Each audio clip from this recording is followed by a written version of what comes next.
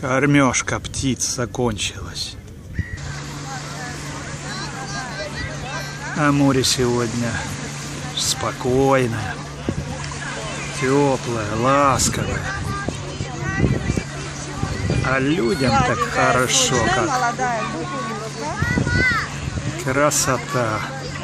Кирилловка, Азовское море. Украина. Много людей.